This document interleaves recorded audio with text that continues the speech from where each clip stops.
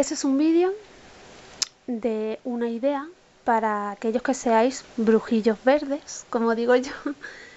Em, esta es una de las cosas que yo he hecho porque vosotros sabéis que a mí me gustan mucho las plantas y yo siempre os digo que me considero una bruja verde y todo eso.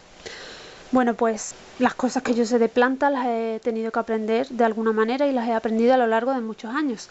Entonces hay ejercicios y cosas que se pueden hacer para aprender sobre las plantas que crecen a nuestro alrededor. Siento bastante la luz que hay, que no se ve muy bien, no es la más adecuada porque está todo el rato nublándose y saliendo el sol.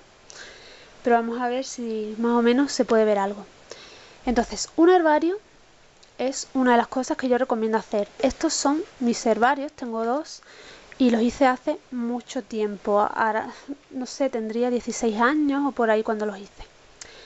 Entonces, mmm, para hacer un herbario, lo que tenéis que hacer es recoger hierbas del campo. Eh, primeramente tenéis que tener en cuenta que no hay que recoger hierbas de zonas protegidas de parques naturales y cosas de esas, por varias razones. Una, que entonces podríais contribuir a que se extinga alguna planta y segundo, que si os pillan podéis meteros en un gran lío. Em, bueno, pero la mejor manera de aprender sobre plantas es hacer ejercicios de este tipo. Así que lo que la manera de hacer un herbario casero muy casero porque si lo aprendéis a lo mejor en el colegio o en otros sitios siempre os hablan de una prensa y tal, pero no hace falta prensa si lo quieres hacer de manera casera. Eh, yo mis herbarios siempre los he hecho recogiendo plantas en el campo y metiéndolas en revistas viejas. Se le pone peso encima y cuando pasa pues un mes o por ahí la planta está seca, prensada y está perfecta. Y luego pues hay que pegarla en una hoja, se puede pegar con fiso o con pegamento y hay que buscar en los libros de qué plantas se trata. Os voy a enseñar mis herbarios. Hay un montón de jaguarzos de los que crecen por aquí, por Andalucía. Eh, por ejemplo, este es estepa negra, estepa blanca, romero. Es que estas cosas te pueden ayudar a aprender las plantas que te rodean, las plantas de la zona donde tú vives, a conocerlas. Estas son las plantas que hay en la provincia de Huelva. Jarilla romero, esta es la viborera, cantueso, otra clase de cantueso. Esta ya no es una planta silvestre, pero de todas maneras la recogí. Esto es lavanda y la recogí detrás de la escuela de arte, cuando yo estudiaba el bachillerato. Así que ya hace tiempo de esto. Correhuela mayor. Esto es, aunque pone sol de oro, en realidad esto es una planta que a mí me gusta mucho, que se llama perpetua silvestre y que tiene un olor alucinante. Hace un montón de años que puse esta planta aquí y todavía huele. Poleo, escabiosa mordida. Esto es mentastro o mastranto. Verrucaria o verruguera. Zanahoria silvestre. Manzanilla bastarda. Más manzanilla bastarda. Algunos si quedaban bien los ponía los dos. Esto tampoco es silvestre, esto es de la boda de mi hermana, de un ramo es un helecho común que me gustó y lo sé que también. Aquí hay otro, helecho macho, dentabrón. Esto es una clase de linaria, linaria brongifolia. Esto es roqueta, es como un nabo silvestre.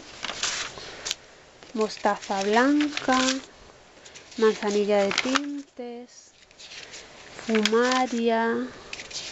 Esa es una clase de trébol, arenaria roja muy venenosa. Murajes, también venenoso. Y ahora vamos a ver el siguiente. Vamos a ver. ¿Qué más tenemos por aquí? La famosa verbena, una de mis favoritas. Verbena silvestre. Esto es calamento o calaminta, depende del libro Hierba de Santiago, Pimpinela menor, otra que me encanta. Más Pimpinela menor. Esto es un matagallos. Una clase de margarita. Esto no sé si está bien identificado. Escabiosa. Retama común. Trébol de hoja estrecha. Este todavía no tiene lo que es. Es que alguno no está terminado. Y eso aquí hay más. Que no, no tienen nombre. Esto sí, clavelicos de pastor. Es como un gladiolo silvestre, aunque se llamen clavelicos. Esto es una clase de diente león silvestre. Y ahora quiero enseñaros otra cosa muy especial. Que fue mi primer herbario. Que lo hice cuando yo era muy pequeña. Pues este es muy especial porque este lo hice en 1994. 1994, hmm. yo era bien chiquitita. Entonces es mi herbario de cuando era una niña pequeñita. Y lo hice porque mi padre me habló de que estas cosas se hacían y a mí me gustó y hice uno recogiendo plantas de las que crecen alrededor de mi casa, en los descampados que había por aquel entonces en los alrededores. Y entonces pues solo cogí pedacitos muy pequeños. Algunos no son de plantas silvestres, algunos son de plantas ornamentales del jardín también, porque por ahí he visto un geranio. Esto, por ejemplo, es un árbol frutal. Pero bueno, yo le tengo mucho cariño porque está muy bien. Otro geranio. Pero bueno, yo estoy contenta que es lo importante. Y bueno, pues es una buena idea para aprender sobre plantas. Y bueno, ya de paso que os he enseñado los herbarios, os voy a enseñar también esto. Otra de las cosas que yo he hecho para aprender sobre plantas era salir al campo y dibujarlas. Dibujar plantas que me encontrara, pues eso me ayudaba a a aprender sobre plantas. Estos dibujos también son antiguos, aquí se puede ver que es del 2002 este, por ejemplo, que lo hice en primavera, lo recogí en la sombra, yo que sé, apuntaba muchas cosas. Esto es estepa blanca, cantueso, eh, escabiosa mordida, otra vez la linaria longifolia, revuela mayor, Raigras, muchas son las mismas que las del herbario porque son las plantas que hay a mi alrededor.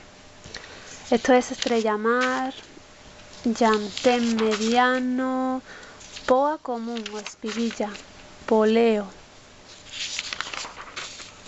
verbena, mi querida verbena. Esto es hierba mora o tomatitos del diablo. ¿Eso qué es? No pone lo que es esta amapola oblonga. Esto ni siquiera está terminado. Fumaria. Eh, maravilla silvestre. Esto es como... Es como la caléndula pero silvestre. Si os fijáis, los que hayáis plantado caléndula, en que la semilla, cuando la flor se seca, es igual. No sé si con esta luz se puede ver bien el dibujo. Pero es como la caléndula pero silvestre. Aquí tenemos otra vez la manzanilla bastarda, que son esas margaritas chiquititas que crecen en el campo. Em, esto tampoco sé lo que es. Otro de los miles de dientes de leones silvestres, Leontodon ispidus. Esto tampoco está identificado. Este no está terminado, jara estepa. Hipérico, sin terminar, no se ve la flor amarilla. Estos son ya de más adelante. 2008. Margarita menor o maya. Estas crecen en la sierra. Son preciosas. Tampoco está terminado. Escaramujo. Y bueno, esto ya, estos ya no son silvestres.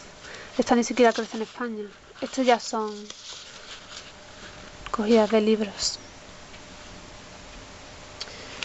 Bueno, pues son otras ideas para aprender sobre plantas, para aprender sobre mm, las plantas de vuestro entorno aprender a reconocerlas, que es muy importante aprender sobre ellas. Y yo creo que cualquiera que se llame brujo debería saber sobre plantas. Es algo que yo pienso que es muy importante porque desde el principio siempre ha sido así. Entonces espero que os guste mi vídeo y hasta pronto.